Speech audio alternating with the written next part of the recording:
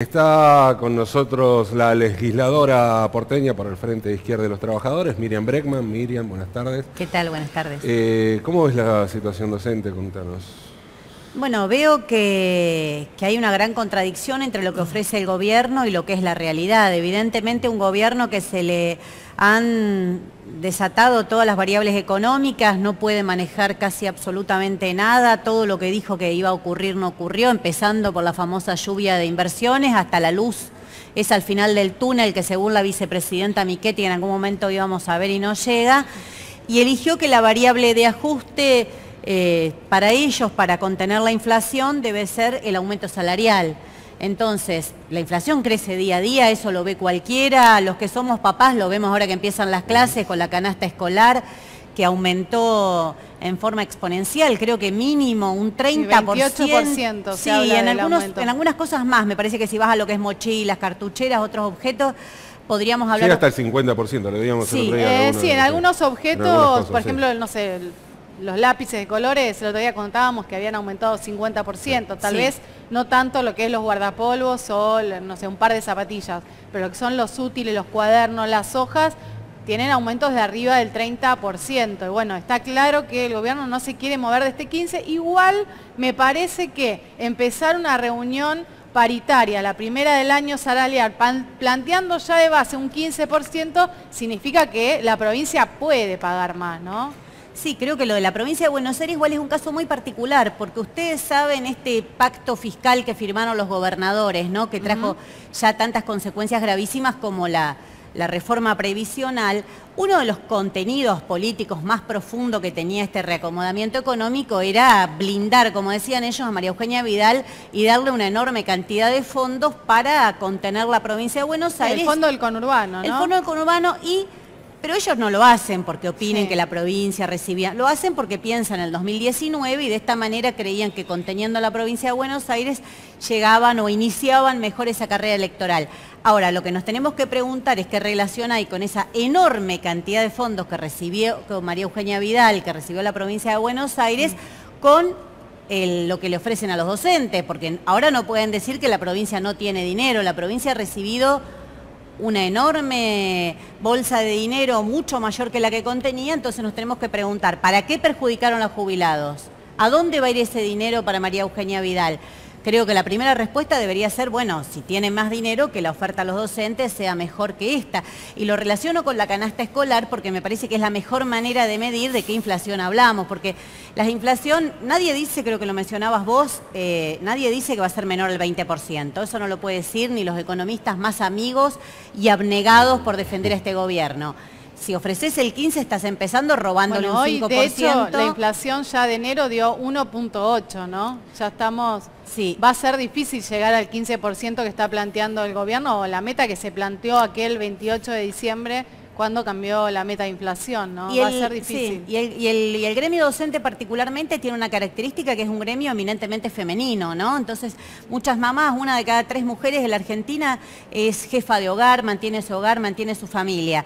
Esa, esa docente, además de docente, tener el derecho a su salario, también es una mamá que va a tener que ir a comprar los útiles para comenzar las clases y se va a encontrar con subas del 50%. Entonces, me parece que, el gobierno haya elegido que la variable de ajuste sean las paritarias, eh, hace que, que este descontento social que venimos viendo con el gobierno muy profundo de diciembre se va a incrementar, se va a incrementar porque pueden hacer el discurso que quieran, durar barba les puede preparar el versito que quieran, pero después está la realidad, después está esa mamá que es docente, que tiene que ir a comprar los útiles a la escuela y que el aumento que ve eh, en los negocios no es el mismo, ni que hablar de las tarifas, el transporte, todo lo demás que aumentó. Si uno suma todo eso, no puede pensar con la cabeza del bolsillo de los Macri, de los Peña Brown, uno tiene que pensar con la cabeza y el bolsillo de un trabajador que le impacta muchísimo todo eso todos los días. Así que creo que, que, eso es lo que está haciendo que el descontento social con el gobierno, que como decía, hay un punto de quiebre evidente en diciembre,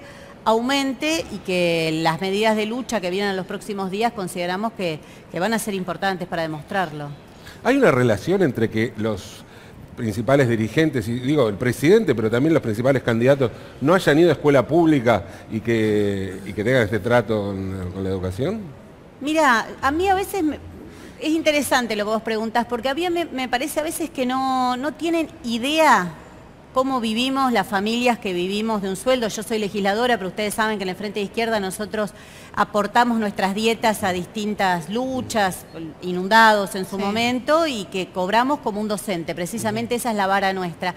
No tienen idea no tienen idea, pero no, es que no solamente no tienen idea lo que es llegar a fin de mes, no tienen idea lo que es ir a la escuela pública. Hoy hablaba con mi compañero legislador Patricio del Corro precisamente eso. ¿Tienen idea esta gente lo que comen los chicos en los comedores escolares? ¿Qué comen nuestros hijos en los comedores escolares públicos? No tienen idea. Porque si sus hijos comieran eso, yo estoy segura que el menú no sería el menú que le dan en las escuelas de la Ciudad de Buenos Aires que los hijos, no sé si tiene, pero debe tener eh, Rodríguez Larreta, todos los funcionarios de la ciudad, tuvieran que comer eso, esa no sería la comida. Entonces, realmente cuando nosotros hablamos de que hay una casta política que vive muy alejada de lo que es la, la sociedad, es así, es así, no tienen idea, no tienen idea de qué haces en el verano con los chicos cuando no hay clases, lo que cuesta organizar una familia. De hecho, las colonias de la ciudad nada más son en enero, febrero, ¿qué haces con los chicos? Eso te iba, eso te iba a mencionar, que las colonias del gobierno de la ciudad que son, solamente cubren enero. Y en febrero, ¿qué hacen las familias en febrero? Porque papá, mamá salen a trabajar o hay uno solo de los papás que se hace cargo de los chicos. ¿Cómo, lo hacen? No tienen idea. Realmente pienso, no, tienen idea y no les importa, ¿no? Porque podrían no tener idea por experiencia personal o por venir de, provenir de familias muy adineradas, como es el caso de todo este gabinete, pero importarle, bueno, no. Evidentemente su condición social determina lo que piensan. Ahora, eh, hoy fue un día muy convulsionado, ¿no? En las calles hay distintos tipos de, reclamos, ¿no? Sobre todo eh, falta de trabajo. ¿Cómo llegamos a esta instancia? ¿Por qué hoy la calle explotó? Mira, llegamos porque el gobierno entendió las elecciones de octubre como un cheque en blanco que podían a partir de eso eh, avanzar con distintas medidas de, ajuste, de ajuste gradual, como le dicen ellos, ¿no? Como que es eh, la reforma permanente, primero pasamos otra reforma, pero en realidad no son reformas, son contrarreformas, porque cada uno de los ámbitos en los cuales lo plantearon, previsional, laboral, es un retroceso en el derecho de los sectores que involucra. Y creo que en diciembre se demostró que es necesaria menos rosca parlamentaria, menos rosca eh, de los partidos que se reúnen en el, en el verano preparándose para el 2019 cuando faltan dos años y es, más es mucho más necesario y efectivo plantear la pelea en las calles. No se logró parar definitivamente la reforma previsional, pero quedó herida quedó herida centralmente porque le causó al gobierno un desprestigio enorme. El gobierno creía que arreglando con 23 gobernadores de todos los espacios políticos eh, menos de Frente Izquierda, por supuesto, eh, de todos los espacios políticos, con el pacto que tiene en el Congreso con el, con el peronismo que le vota todo en el Senado y un sector en diputados, con eso podían tener eh, de acá al 2019 una nueva etapa tranquila como tuvieron relativamente los dos primeros años. Pero, pero irrumpió la calle, irrumpió la movilización y creo y que los errores también, ¿no? Porque los errores también, porque digo, la reforma laboral finalmente tuvieron que aplazarla y dar marcha atrás. Digo, bueno, en ese sentido reconocieron que eso iba a generar mayor convulsión, ¿no? No solo interna con los gremios, eh, sino también en la sociedad en general. Sí, pero creo que si en diciembre no hubiésemos salido a la calle y solamente se hubiese discutido la reforma previsional en el recito del Congreso, hoy estaríamos discutiendo la reforma laboral en febrero, recuerdan ustedes que en febrero la quería discutir el gobierno. Para mí el gran cambio... Sí, iba a entrar en las extraordinarias, de hecho no hubo extraordinarias. No hubo extraordinarias, bueno, se olvidaron de eso. Esto es importante analizarlo, porque a veces algunos hablan de que Macri es la dictadura, Macri es imparable, dan una sensación de que al gobierno no se lo puede parar, no se lo puede frenar. No se lo puede frenar con esos métodos, con la rosca, no se lo puede frenar. No se lo puede frenar si es pueblo peronismo y le vota todo, claro, así, pero sí se lo puede frenar si nos organizamos, si peleamos, si pensamos cómo se coordinan los sectores que están peleando. Otro dato de la realidad de este, este breve periodo que va el 2018 es que hay muchos conflictos, muchos despidos, pero que en todos hay resistencia. Miriam Breckman, eh, ¿hacen retiros espirituales en el FIT? no. no.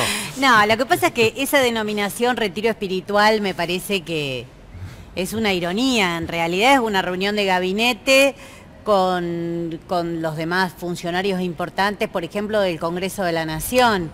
Lo preocupante es lo que discuten, ¿no? Porque creo que, como hablábamos antes, un gobierno que quedó muy golpeado por la reforma previsional, que acá explicaban eh, lo enormemente perjudicial que es para los jubilados y para todos los que tienen esta fórmula de, de ajuste que se cambió y creo que lo que van a discutir el gobierno es qué hacer ante la nueva situación política. ¿Piden ustedes de la izquierda también apoyan la toma de los colegios o qué opinión tenés al respecto? Opino muy parecido a lo que acaba de decir el doctor, me parece bien la explicación porque la toma es una respuesta a un ataque previo que han sufrido los estudiantes, entonces hay palabras que se demonizan, ¿no? Se la palabra toma está demonizada tanto para los estudiantes como para los trabajadores. Pero ningún trabajador dice, bueno, a ver qué hago hoy, voy a tomar mi fábrica. En general primero hay un vaciamiento de la empresa, hay despidos. Con los estudiantes pasa lo mismo. Y el gobierno responde con la misma receta. Desde un trabajador hasta un estudiante responde siempre con la represión. Creo que no solo como política, sino como padres lo que tenemos que hacer es acompañar a los chicos. ¿Pero qué se está viendo mal? ¿Que se oriente a los jóvenes al trabajo? ¿Eso es lo que se está viendo mal? No, mira, si hay algo que no orienta la reforma que quiere hacer este gobierno es al trabajo.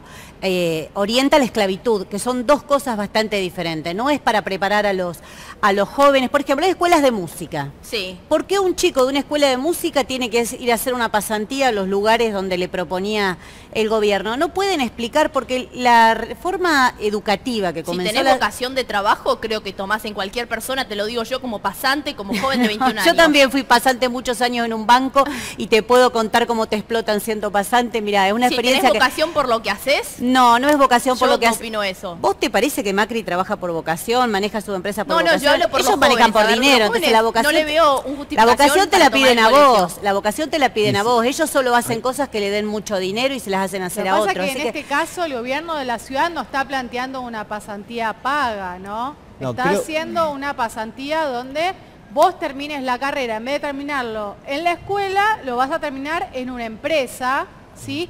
Y no vas a ser remunerado por ese pago. Claro, porque es la contracara de, o, el complemento de lo que querían hacer con la reforma laboral, no son dos cosas separadas. Entonces, el tema de las pasantías era empezar a hacer trabajar a los pibes gratis desde los 17 años aproximadamente, que es la edad con la que llegás a quinto año. Después, cuando tenés 18, no es que ahí te regularizan y vas a tener un empleo. Cuando tenés 18 te empieza a regir seguramente la reforma laboral que querían aprobar, donde vas a seguir en esa condición. Entonces no se puede desligar estas reformas que quieren hacer de la orientación social que tiene de conjunto el gobierno, que es precarizar las relaciones del trabajo, y, creo que en el ámbito periodístico es importante discutirlo, porque las pasantías afectan a muchísimos trabajadores periodísticos. Eh, recién eh, leía algunos tweets de unas periodistas que decían, nunca trabajé tanto y jamás la pasé tan mal.